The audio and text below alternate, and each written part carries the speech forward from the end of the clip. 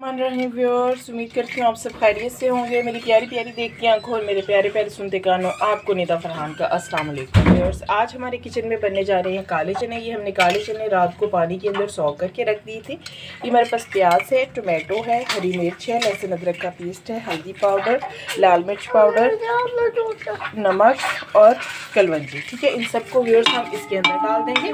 ठीक है? प्रेशर का वेट देखिए ये बिल्कुल गल चुके हैं। अब व्यूअर्स हम इसके अंदर एक चम्मच के करीब खाने का ऑयल डालेंगे। ठीक है, बिस्मिल्लाह। ठीक है व्यूअर्स इसको हम अच्छे से भून लेंगे।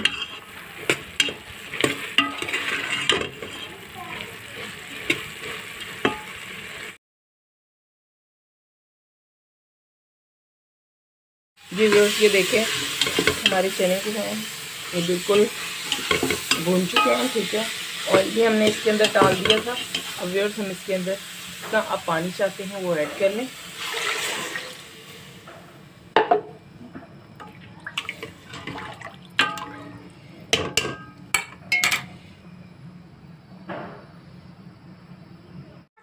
जी व्यूअर्स ये देखिए, हमारे काले चने जो है, ये बिल्कुल रेडी हो चुके हैं। अब हम इनमें हरा धनिया ऐड कर देते हैं, ठीक है। और हम इनके अंदर गरम मसाला ऐड कर देखिए उसके हमने गरम मसाला इसके अंदर ऐड कर दिया ठीक है। फ्लेम हम इसका ऑफ़ कर देंगे। ठीक है देखिए